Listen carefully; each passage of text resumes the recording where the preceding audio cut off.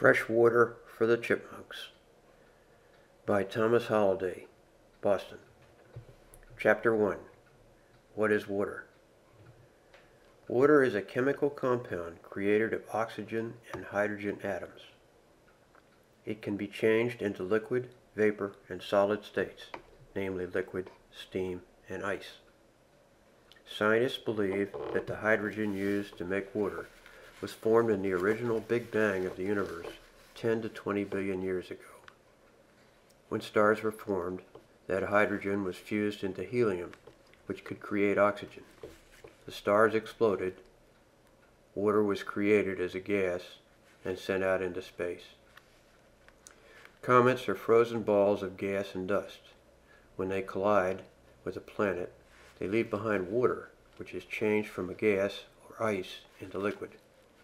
This theory provides the basis for the concept that our early hot planet was seeded from space by comets.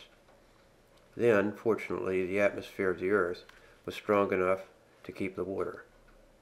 Perhaps some water on Earth was also created by volcanic eruption, sending forth hot water vapor in the form of steam. Whatever the source of water, most scientists feel that the existing supply on Earth is finite and can't be replenished. It's unlikely we will be impacted with large comets without all life being destroyed. This resident water on Earth has a water cycle. It evaporates from oceans, leaving the salt of the ocean behind. That fresh water then rains and runs off the land back into the oceans. Water covers 71% of the Earth's surface. Of this, 96% is in the oceans. About 2% is in groundwater, 2% in ice, and the remainder in the air. Only 2.5% is fresh water, and almost 99% of that is in ice or underground, not easily available to animals. Less than 0.3% is in rivers and lakes in the atmosphere.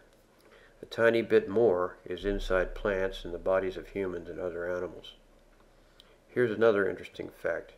About 70% of the water used by humans goes to agriculture, including raising animals eaten by humans. Wildlife doesn't have much left to drink, does it?